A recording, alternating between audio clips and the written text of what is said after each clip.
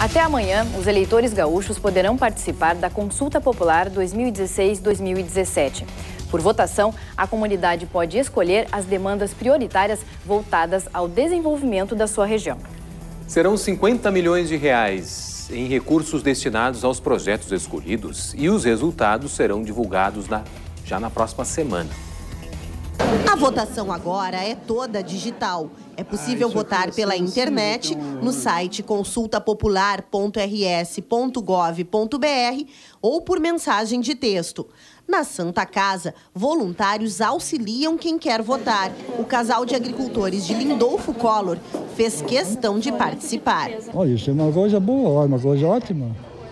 Porque tem que ser, porque senão não, não tem uh, de volta, não tem uh, retorno. Nós fizemos no nosso município já várias vezes. Agora, hoje não deu para votar lá no município por causa que a gente tinha de vir para cá para fazer uma consulta. Mas aí votou aqui. Votei aqui. O orçamento da consulta popular para este ano é de 50 milhões de reais. Vão ser escolhidos 24 projetos em uma lista enviada pelos Corédios, os Conselhos Regionais de Desenvolvimento de todo o Rio Grande do Sul. Na votação aparecem 10 projetos. O eleitor escolhe um. No ano passado, foram destinados 60 milhões de reais para a consulta, mas até agora só 25 milhões foram investidos.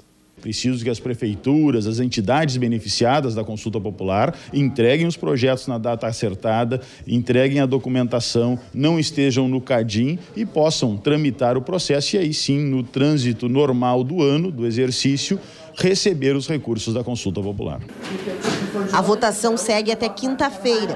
Também é possível votar por mensagem de texto do celular para o número 28908. É preciso escrever RS Voto, colocar uma hashtag, depois o número do título de eleitor, outra hashtag e a opção escolhida.